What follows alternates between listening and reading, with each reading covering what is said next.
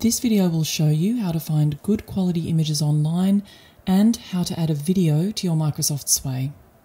You can use Sway to bring together materials for any online presentation, like an article or a learning module. My Sway is on mindfulness and how it can help reduce stress in the workplace. I need some good images to grab the reader's attention and really bring my topic to life. There are sites online where you can get free, high quality images that you can use without breaching copyright.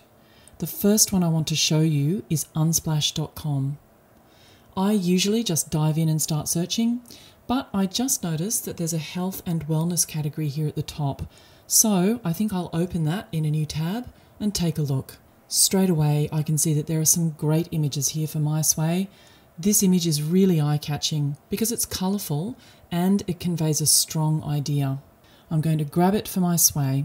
Notice that when I select it, Unsplash shows me related images underneath, which is helpful. I'm going to click on download and save this image in my project folder. When you download, you get this pop-up which conveniently gives you information about who authored the image.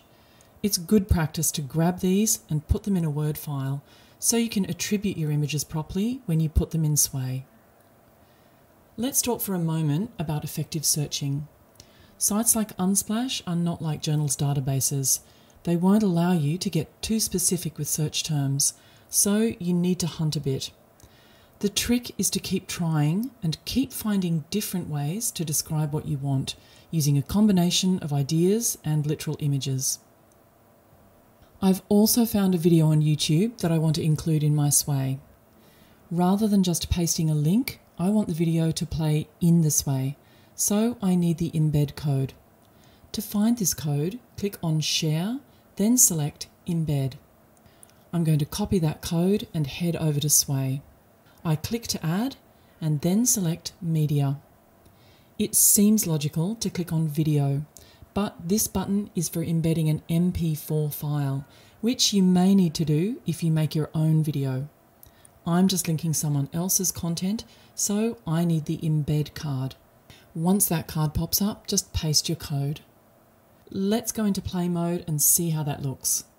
So you can see my video is in there now and it plays in this sway.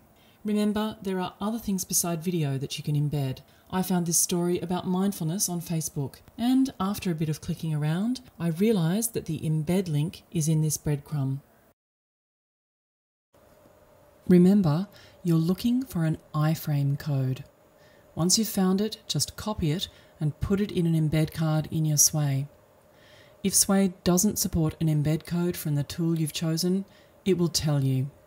For a full list of the tools and products that you can embed in Sways, go to the link I've provided in the description for this video. Now take a look while I add some of my own written content and some of the images I found earlier.